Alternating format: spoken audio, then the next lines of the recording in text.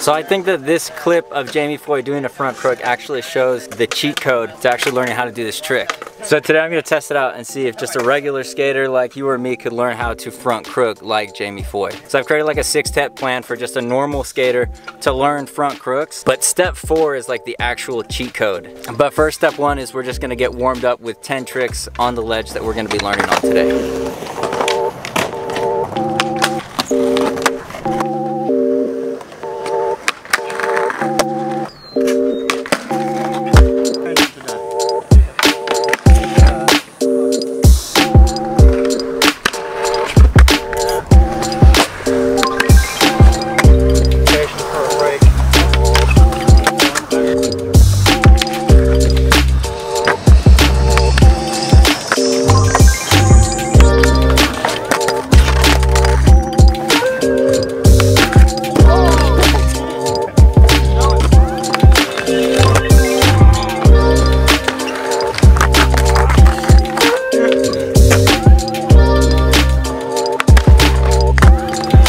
Alright, so step two is pretty simple. You just gotta learn how to transfer the weight onto the front foot like Jamie Foy.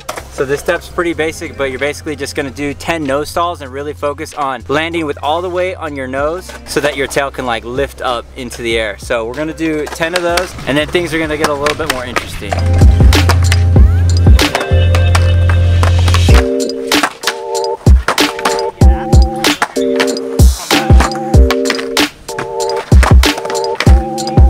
All right, so part four is to copy Jamie Foy's foot position. Whenever I front crook, I mean, it's a big thing that a lot of people don't know is that they don't really hang their foot all the way across the board, their front foot. So pretty much right here, big toe hanging off. And after I pop and try to slide and jump forward onto the ledge, what I imagine is like trying to like grab the corner of the ledge or the rail with my toe.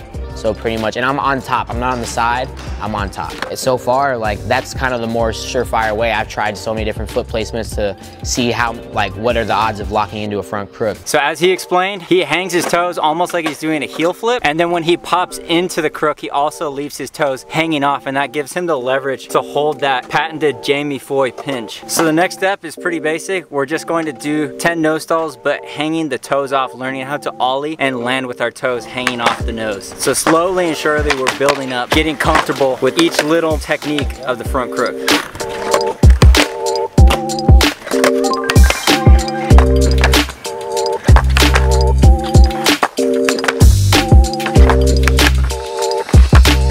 So step four out of six, this is the cheat code. The reason I call it a cheat code is because I realized Jamie Foy does this trick a lot simpler than I ever thought it was. So when I first started to try this trick, I would come parallel with the ledge and try and ollie and tweak and dip my nose into the front crook. But if you watch Jamie Foy, he actually rides at the ledge at the same angle that his front crook is gonna be tweaked. So essentially he doesn't tweak his front crook. He just comes exactly from the direction that the front crook is pointing and ollies straight in and gets his wheel on top of the ledge. So now that we've practiced Jamie Foy's foot position with the toes hanging off to give you the leverage, all you gotta do is roll up at a slight angle, practice ollieing straight, getting that wheel on top of the ledge with your toes hanging off, and that should give you the leverage to actually get in and feel what the pinch is like. So I'm gonna try and get into the pinch at least 10 times before we start really trying.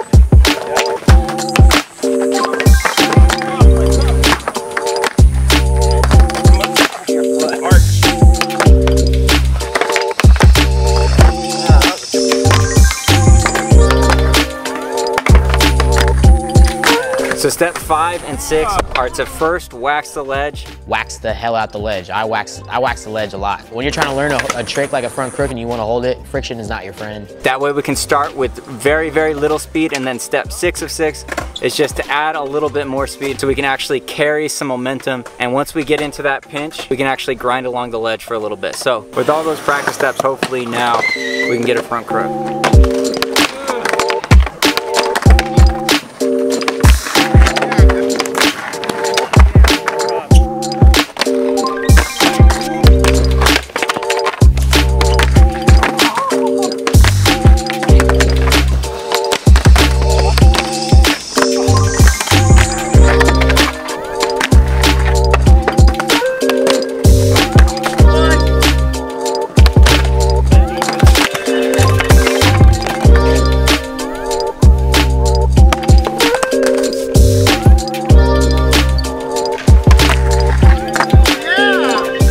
Because that definitely helped me get into the front crooks easier. Getting out is a completely different story, but if you did enjoy this video, you gotta check out this one. It's Jamie Foy's Secret to the Front Crooks. Different perspective on the same trick, so make sure to check that out. Remember to make every single day a Friday, and I'll see you guys in the next video. Peace.